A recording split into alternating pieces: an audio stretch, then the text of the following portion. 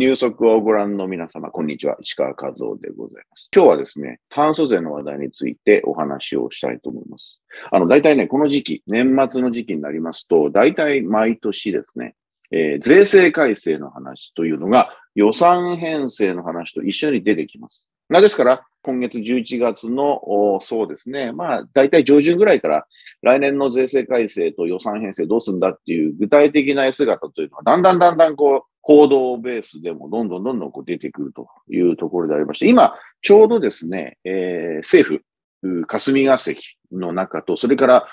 与党、これは永田町ですね、え、その政治家の方々と官僚組織、そして、ま、財界とか、まあ、労働会とか、ま、そういったところをこう、みんなぐちゃぐちゃぐちゃぐちゃ議論しながら、来年どうしていこうかという話が、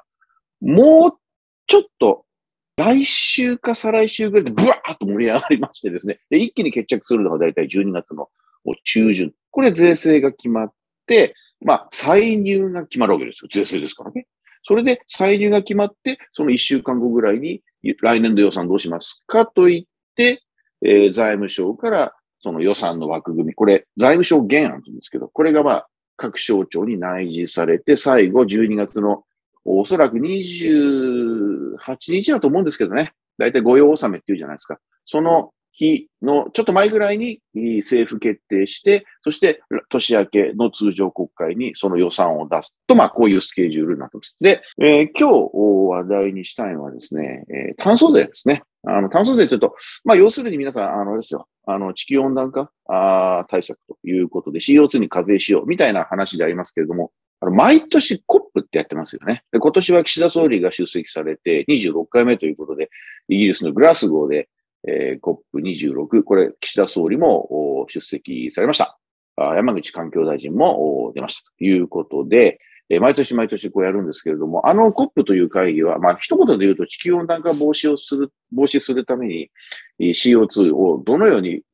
削減するとか抑えていきますかとか、化石燃料をどうやって、えー、効率的に使うだとか、まあ近年ではですね、石炭が悪者になっちゃって、石炭をやめようみたいな話になっちゃってますけど、まあ日本はそれに乗らねえというのが結論なんですけれども、で、話を炭素税に戻しますと、さっき言ったように、大体この時期毎年、自民党、与党の税制調査会、与党税調と言いますけど、この場でもって、えー、税についての議論があ百出してきまして、それで決め、年末、12月の中旬ぐらいをめどに決めていくプロセスになるわけですけれども、今年話題になったのは、えー、私から見るとですね、まあ皆さんも報道等々でご存知だと思いますけど、やっぱり最初に出てきたのは金融課税ですよね。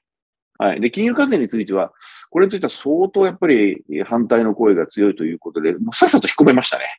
えさっさとあの、総理もですね、それからあの、宮沢税調会長もですね、まあ、これはちょっと今年はあかんな、みたいな感じで、先送りみたいなニュアンスでもっても、を出しているということで、項目だけ残る。で、もう一つ、うん、炭素税ということについてなんですけれども、これもですね、えー、コップという、そう、世界の場ではですね、やっていきましょうみたいになってるんですけれども、やっていきましょうって言ったってこれ結構大変なんですよ。要はですね、大衆増税になるんですよね。まあ、消費税みたいなもんですよ。なので、えー、これについては非常に議論が各国難しい状況になって、そんな簡単には、えー、炭素税というものをですね、国際的ルールのもとで運用するような時代がいつ来るかちょっと読めないというのは正直なところなんですけれども、そうは言っても各国それぞれ CO2 とかね、あるいはエネルギー、まあ、例えば我々の身近で言えばガソリンとか電気ですけど、そういったものに課す税金っていうのは各国それぞれあるんです。各国あってですね、日本もですね、実はあの、これ2012年なんですけれども、覚えてる方あんまいらっしゃらないかもしれませんが、地球温暖化対策税っていう、まあ、略して温帯税っていうんですけど、まあ、こういうようなものがですね、えー、実はもう2012年です。2012年っていうと震災、東日本大震災の翌年ですよね。えー、その頃から実施されています。で、どういうことかというと、まあ、やっぱり CO2 を出す源です。誰が原因だって言うと、まあ人間の息っていうのもあるんですけども、おまあそれでさすがに税金課すっていうのはどうかということで、昔人頭税っていうのが流行りましたけど、あっという間に消えました。えさすがにそういうことではなくて、CO2 をいっぱい出すというと、やっぱり化石燃料になっちゃうんですよ。そうすると、石炭、石油、天然ガスということで、で日本は2012年に、この石炭や石油や天然ガスに、ちょっち、こう、なんていうんですかね、えー、その他いろいろ税金あるんですけど、それ輸入するときに輸入事業者に税金をかけましょうということでやっておりまして、えー、2012年からやってます。まあ我々のその電気料金であるとか、ガソリン代とかにはまあそんなに大きなものではありませんけれども、そういった税金が課せられているというのは、これ皆さん実は、えー、あまり知らないかもしれませんけど、この際であればですね、えー、Google かなんか行くと、あっという間出てきますんでですね、えー、例えばね、こういうふうに行くといいですよ。エネルギー課税、ポンと引くとですね、エネルギー課税、スペース日本とか引くとですね、ドーンといっぱい出てきますので、そういうことで見ていただければ意外と多いですよ。例えばね、えー、我々の身近だとやっぱりガソリン税でしょうね。ほら、最近あの、ガソリンで上がってるじゃないですか。私ね、東京に住んでるんですけど、えー、今日だ、今日でしたね。ガソリン、えー、結果的にあの、ガソリンさんと並んでるんで入れるのやめたんですよ。高くてやめたんじゃなくて、並んでて入れるのやめたんですけど、今日のうちの近くのガソリン代は、うちレギュラーなんですけど、リッター162円ぐらいでしたかね。えー、高いっすね。えー、高いけど必要なんで入れます。えー、無駄なあの、運転しないようにあの気をつけますけれども。ということで、値段が高いとですね、今言ったように、無駄なその運転とかそういったことをなるべくやめようとなるわけですよ。なので、エネルギーに税金を課すと、エネルギーをこう節約して使おうとか、まあ、省エネ型の生活になるでしょ？みたいな形で、えー、炭素税とか、あとね、環境税という言い方もしますけれども、そういうその、なんていうのかな、地球温暖化の原因となる CO2 を出さないように出さないようにするための、まあ、ディスインセンティブのために税金をかけるという発想だとなんとなく美しく聞こえるんです。で、政策論的にはそうなります。まあ、しかし、炭素税で、えー、これから、まあ今までも議論ありましたよ。その温帯税の話でもガソリン税の話でも議論ありましたけど、日本国内でも外国でも、これからもっともっと炭素税というものが、あの、おそらくね、現実的にこれをどうしようかっていう議論がもっともっと世界各国具体化していくと思うんですよ。日本でもそうだと思いますが、その時に我々が考えなきゃいけないのは、お金取って何に使うのかなんですよね。でちょうどやっぱり日本だと消費税がすごく議論になって盛り上がるわけですけど、消費税って今だいたい10%じゃないですか。まあ、あの、一部マスコミがですね、ちょっと減税されて8%ってけしからんんですけど、まあ、ちょっとそのけしからんだ話は今日置いといて、あの消費税、まあ、我々10%は何に使われるかというと、10%のうちの8%は年金とか医療とか介護とか障害者福祉とか、そういう、まあ、旧来型の社会福祉政策、社会保障政策に充当されるわけですね。で、2%分はこれは幼児教育無償化ということで、まあ、乳幼児、子供子育て、まあ、保育園とか、まあ、そういったところに使われるということで、消費税収があ社会保障政策に使われるということで、我々はその10%の消費税を納めて何に使われるかを、まあ、一応知ってることになってるわけですよ。法律でそう書いてますんで。で、実際そこに使われてます。え、まあ、いろんな人がですね、あれはなんか財務省のポケットとか言いますけど、そんなんじゃありません。これ本当に使われてます。はい。あんまり心配しないでください。そういうデマには皆さん惑わされないよ。で、同じように炭素税の議論というのは実はですね、これあの、歴史をたどると、私はあの、1989年に日本政府、まあ当時の通産省ですね。今、経産省と言いますけど、そこに入省しまして、その頃はね、えー、平成で言うと元年なんですよ。平成元年に私入った時には、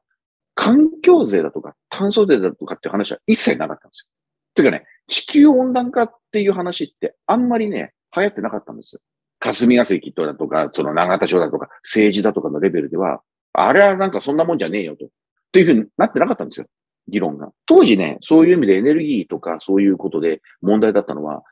あの CO2 じゃなくて、むしろですね、排気ガスの方ですね。だから公害問題ですよ。ソックスとか、あの、硫黄酸化物とか、ノックス、窒素酸化物って、これあの、車の排気ガスだとか、工場の煙突から出てくる。ああいうものはに対してちゃんと公害対策をやるために、まあ、ある程度その、おなんていうの、工場とかね、各事業者もお金を出さなきゃいけない。まあ、そのために値段が上がっても仕方ねえな、みたいな話ってのあったんですけど、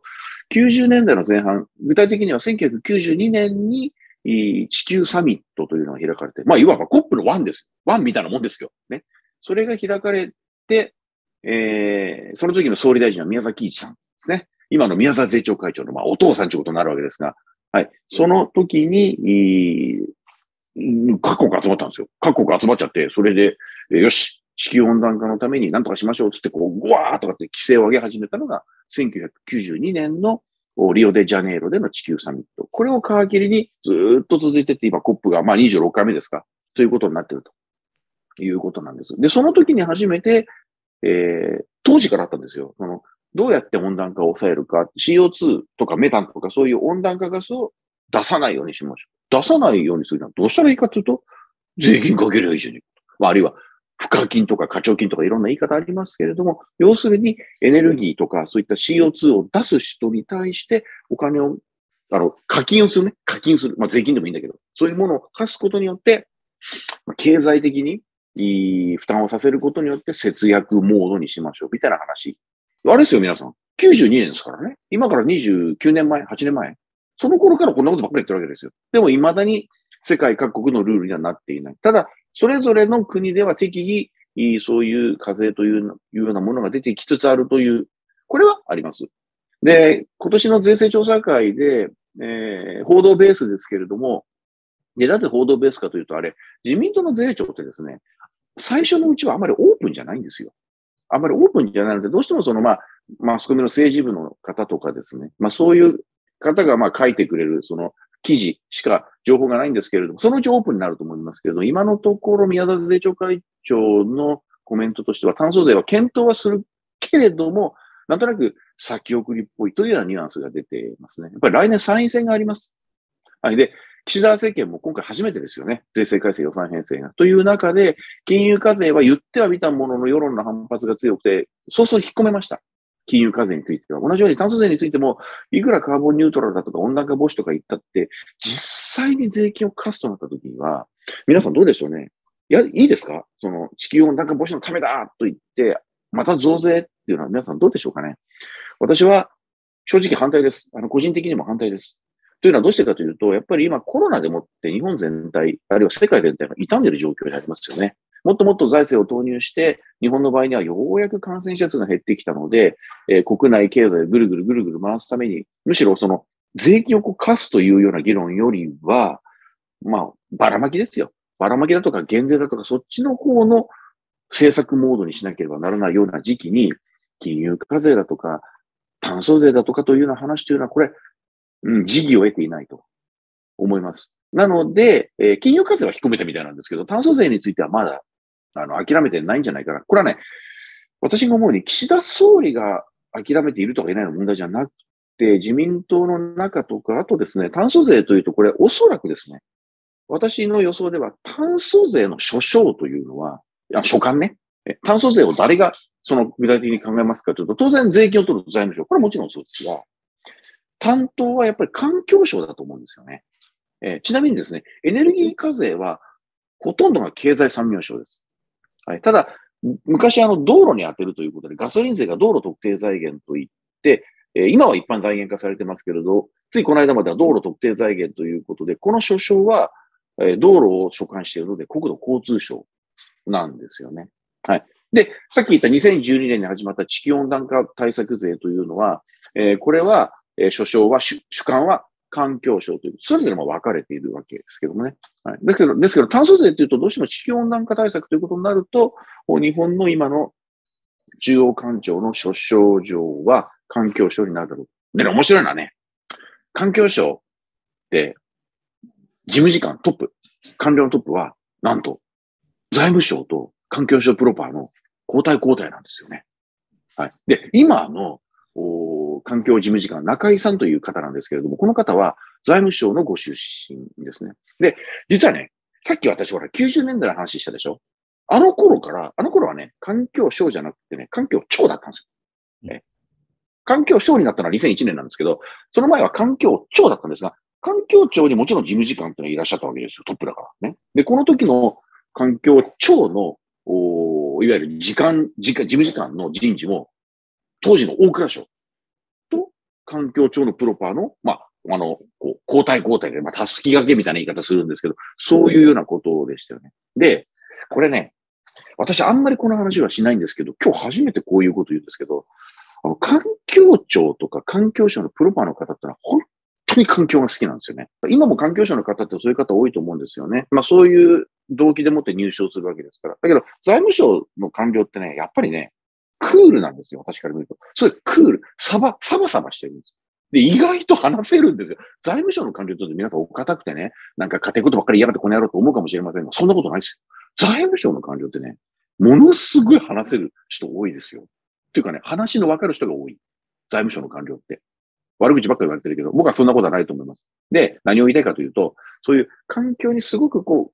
う、割とこうなりがちな環境省というその雰囲気の中で、財務省のように、まあ、なんかまともというか、非常にこう経済的にも、こう、裁けた、クールな人たちの、こう、なんていうかね、まあ DNA つうか、血液つうか、それが入るとちょうど良くなるんですよ。だから私は炭素税を主導するのは、環境省のプロパーの方々ではなくて、財務省から言っている、まあ、時間を筆頭として財務省から人が何か言ってますけど、そういう方々が主導でもって、環境省の中で炭素税というものを立案して、今後、日本の税制として検討ののろしを上げるんじゃないかなというふうに思います。で、その時に、おそらくね、一番の課題はですね、ねこれ財務省にしても環境省にしても最も気にするのは、税率もありますよ。税収の規模もありますよ、もちろん。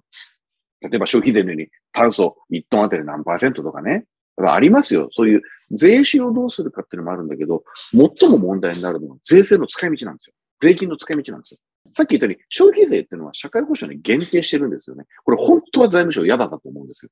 一般財源化したいはずなんですよ。ところが、それだともう消費税を増税まあ、増税したいわけじゃないと思うんですけど、もう社会保障財源としての消費税はできないという、あの、一般財源としての消費税はできないということで、社会保障というふうな名目にしたと思うんですね。で、おそらく炭素税についても、そういうような形で、えー、やるのかなというふうに思います。ですから、あの、一般的にですね、えー、こういう税金というのは普通、あの、目的をあまり決めないのが多くなんですよ。所得税も法人税も多くはですね、あの、税金の人というのは、議会で決めるということで、特にその、この税金は目的税といって、この税金はこの目的に使いますっていうのはあんまないんです。やはり岸田政権、来年の参院選もありますけど、こう、なんていうのか、この間衆院選では勝ちましたよね。ね、議席は減ってしましたけども、絶対安定多数取ったので、これも勝ちですよ。だけど、次参院来夏、岸田政権が予算を編成して国会で折り切って、それで参院選に行くわけですけど、こういった一連のこの政治の、なんていうのかな、プロセスを見ないと、なかなか増税という国民負担、全員ですからね、国民負担を増やすような議論にまで、まだ行くのは時期尚早かなという気がいたしますけど、皆さん、この炭素税について、それぞれ皆さんお考えあると思いますけど、どのようにお考えでしょうかということで、あの、まあ、私、基本的スタンスとしては、その炭素税というのは、今すでに温暖化対策税ということで、2012年から施行されているものがあって、もうこれで十分なんじゃないかとまあ、必要に応じてその税率を上げるっていうのはあると思います。まあ、下げることはないと思いますけど、上げるっていうのはあるんですけど、その、いろんなその、温暖化対策税だとか、ガソリン税だとか、軽油引き取り税だとか、電源開発促進税だとか、石油税だとか、石油石炭税とか、いろんな税制があるんですけど、それを全部まとめて炭素税に一括りにしちゃいますよというような政策というのは、私は、あの、賛成しませんですね。というのは、あの、それやっちゃうとですね、結局あの、まあ、てかね、そもそもそれをやろうとすると議論がまとまんない。まとまんないので前に進まないです。そうするとバカみたいなので、そうではなくて、やっぱり議論がまとまってきちんとその地球温暖化対策だとか、あるいはそういう再生エネルギーを進めるとかね、そういったところにきちんとお金を使えるような、まあ言ってみりゃ、あれですよ。そういうような制度にしなきゃいけないので、そうなると今ある既存の制度のそれぞれのガソリン税だとか石油石炭税だとか、温帯税だとか、そういったものの税率を上げたり、下げたりする、あるいはその税収の使途をどういうふうに改正したり、拡大してきたり、あるいはある部分縮小しなきゃいけない部分もあると思いますけど、そういうようなことで、それぞれでやっていく方が、あの、いいと。あのね、あの、それ財務省にしてみたらね、全部一色たに一般財源会にしたいと思うんですよ。もうだけど、それは財政当局がそう思っていたとしても、実際に使うのは、あの、各それぞれの分野分野で使うので、今あるものをいきなりそんなことやると、さっき言ったようにまとまんないですよね。まとまんないと、どんなに美しい制度であっても、それは絵に描いた餅になっちゃうので、そういう実務的なことからすると、私は炭素税というのは、あの、賛成いたしません。それともう一つ、えー、各国これは炭素税に、炭素税というかカーボンプライシングとか、あそういう温暖化防止のための CO2 に対するその税金とか課徴金とか、まあ言い方は何でもいいですよ。費用負担っていうのは上げざるを得ないと思います。本当に CO2 減らしたいな。だけれども、注意しなきゃいかんのは、これあの、各国ですね、それぞれ経済状況違うんですよ。日本と似たような経済状況って、まあヨーロッパとか、ね、そういう国々あるじゃないですか。全然違いますよ。あの、同じところもありますけど、違うところもたくさんあって、それぞれ、えー、例えばエネルギーを使っているエネルギーの今の構成も違いますよね。例えば電気一つ取ったって、えー、例えばドイツなんかは再生エネルギーをたくさん使ってるわけですよ。ドイツっていうのはね、風力を中心としてたくさん使っていると。で、石炭も使ってるんですよ。で、天然ガスも使ってるんですよ。で、原子力はやめていきましょうっていう国ですよね、ドイツ。で、お隣フランスは逆で、もう原発はもう70%にしぐらい使ってて、あとは、まあ、多少を化石燃料使ってますけど、ほとんど化石燃料使ってないんですよ。で、イギリスってのはね、まあね、ドイツとね、フランスを足して2で割ってるもんなんですよ。もう、このイギリス、フランス、ドイツでさえ全然違うわけですよ。そうすると、で、日本も違うわけです。となると、えー、世界に合わせるのはいいんですけど、ひ、あの、合わせるべきは、何らかのその費用負担を増やさなきゃいけないという部分については合わせなきゃいけないと思います。これは。だけども、その率、例えば税率とかね、二酸化炭素1トンに対してどのぐらいかけるとかっていうのを、何も向こうの国に合わせてやるというのは、それはおかしいなと。いうのは、日本はやっぱり省エネでは、イギリスとに並んで日本というのは、世界で最高水準と省エネの効率を持っとるんですよ、実績としてね。もちろんドイツ、フランスも高いですよ。だけど、アメリカとか中国ってのは、あんま成績良くないですよね。はい。そんなに良くないです。ですから、そういういろんな国と比較していく中で、日本は非常に成績がいいので、あまり無理してですね、かっこつけて、日本はやりますっていうふうに言うならどうかなということがあるので、炭素税については各国の動向を見て、日本は一番最初にやらん方がいいと思います。あの、本当真面目なので、これ以上乾いたタオル状態の国を絞ると、死んでしまいますよ、経済。はい、岸田政権になってから、まず金融課税というものが話に出て、そう、結構批判大きかったですよね。私も一体何を言ってんだろうと思ったんですよ。でその後、炭素税も検討というような方向で出て、これも何を言ってんのかなと思ったんですけど、要は私は岸田政権は、あの、なんていうのかな。だからといって財務省の方ばっかり向いてるとは決して思いません。というのは、岸田さんという方は総裁選の時に消費税は10年はやらねえよと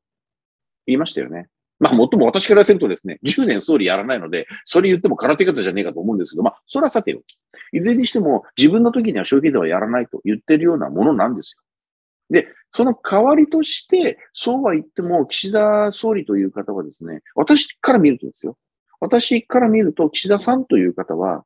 やっぱりその財政規律について非常にこう、関心が高くて、闇雲にばらまきゃいいってもんじゃないと。もうやっぱり日本は財政が厳しいから、そこは少し、なんていうの？まあ財務省じゃないけれども、緊縮財政ということについても考えなきゃいけないと。増税ということについて国民負担も考えなきゃいけないというようなスタンスをお持ちだと思うんですよ。今までの言言動からすると。総理になる前のね。えなんだけれども、おしかし総理の立場になっちゃうと、微妙にそこは、その変わりつつあって、やっぱり消費税についてはなかなか今難しいので、自分はやらないとかです。と言っている中で、金融課税とか炭素税については、岸田さんご本人もあるけれども、その周辺、まあ取り巻きですよ、官邸の。そういう財務省の方もたくさんいますしね、まあ経産省もいるけれども、そういうところからすると、当然その財務省の中にも経産省の中にも、あるいは他の省庁の中にも、このまま本当に国債発行をどんどんどんどん続けて増税しなくていいのかなっていうのはあることは事実なんですよ。あの、みんながみんな増税反対じゃありません。やっぱり増税をして国民負担をちゃんとこう、課すことによって財政規律を求めなければ、いつまで経ってもばらまきになっちゃうというふうな懸念を持っている人たちもたくさんいるんです。そういう、なんていうのかな、その官邸とかそういう政府の中枢の中での、まあ、せめぎ合いの結果、金融課税とか炭素税というものを出すというのは一つのアドバルーン、観測気球なんじゃないかなと思いますけれども、いかんせん、まず客観情勢として、コロナでこれから景気安やるときに増税言うかお前ってのは一つあるのと、それと、やっぱり、そうでなかったとしても、増税というのは非常に敏感にならざるを得ないということで、結論から言うと、その観測気球はある意味成功なんですよ。あ、今いた、あかんなということが分かったという意味において、えー、観測気球は成功だったんですけれども、愚直に真面目に本当に財政規律を考えている人たちからすると、失敗したいうことなんじゃないか。ただ、岸田さんという方も政治家ですから、最終的にはこう、天秤にかけると思うんですよ。で、自分の政権が、自分が総理の座をいつまでいられるかなって考えると思うんですよ。政治家ですからね。まさか、職を落として、炭素税を入れるとか、そんな総理大臣いませんよ、そんなもの、本当にも。まあそういう点で言うと、岸田政権は当面はやっぱり増税は避けた方がいいと、少なくとも参院選までは増税は避けるということにもなるんじゃないかなと思いますけれども、問題はね、来年の参院選の後ですよ。この勝ち方により、よると思います。あの、よほど変なことがない限り、よっぽど変ながない限り、参院選は乗り切ると思うんですよ。今の自公政権は。その時にどういうふうに出てくるかっていうところだと思います。だから、もし本当にその時に財政規律ということで、増税ということを、旗をね、上げるんであれば、それが金融課税なのか炭素税なのかわかりませんよ。いろいろある、ありますよ。まあ消費税はないと思うけど。であれば、経済を回復させる方にも努力しないといけないですよね。あの、私、私からするとコロナ禍という、コロナ禍というのは何かというと、ど不景気ですよ。ど不景気。はい。もうこの一言につきます。私はだから、そういう点で言うと、今、増税なんてもう言わない方がいいと思います。はい。そう思います。えー、炭素税の話というのは、ある意味金融課税と同じで、来年も出てきます。ずっとこれ、あの、くすぶります。でも、いつか、その、やっぱり日本も国際社会の一員として、どっかで、私は本当は嫌いなんですけど、世界に合わせるのって私嫌いなんですけど、でも合わせざるを得ない時が必ず来ると思いますので、その時のために、きちんとしたまあ理論武装とどういったところに使うかという、そういうまあ国民的議論というのをこういうまあネット番組を通じてですね、ぜひ皆さんと共にこれからしていきたいなというふうに考えています。